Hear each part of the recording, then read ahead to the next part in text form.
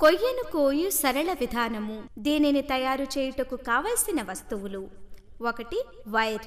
రెండు ball pen refill. మూడు కొయ్య ముక్కలు. నాలుగు సన్నని పుల్లతో చేసిన బొమ్మ గొడ్డలి. ఐదు వంచబడ్డ సైకిల్ ఊస. ఆరు వంచుటకు వీలుగా ఉన్న వైర్.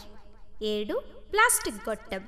పటంలో చూపిన విధంగా మనము క్రాంకును తిప్పినప్పుడు అది ప్లాస్టిక్ గొట్టము పైకి కిందకు తిప్పుట వలన బొమ్మ మనిషి పైకి కిందకు కదులుతూ గొడ్డలితో కొయ్య ముక్కను నరుకుతూ ఉంటాడు.